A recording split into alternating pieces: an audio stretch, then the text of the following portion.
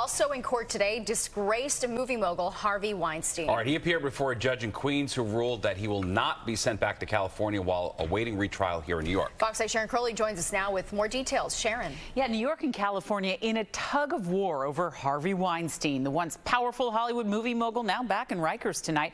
Despite California's demands, for now, Weinstein will remain locked up here as he awaits retrial on a rape case.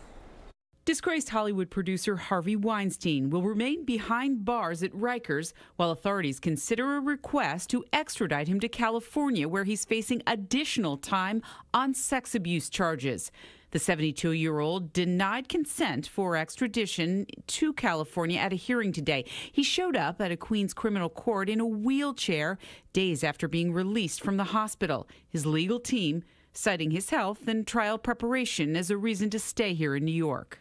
Mr. Weinstein is here in New York so that we can prepare for trial and that he um, and that he get the medical care he needs and and just concerned that travel and a lot would um, how that would impact his his health issues. Weinstein's lawyers also say the prosecution needs to produce the appropriate documentation for an extradition. They are not in a position to extradite Mr. Weinstein right now because they have not done what they need to do. The court is now weighing whether Weinstein should stay here to await retrial or be sent to the West Coast to serve his 16 year sentence for raping a woman in L.A. in 2013. Punishment in the LA case was put on hold until he served his time here in New York.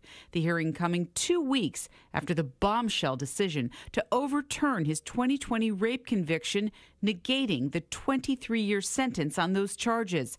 The judge found improper rulings during the criminal trial for allowing testimony from women who were not part of the case.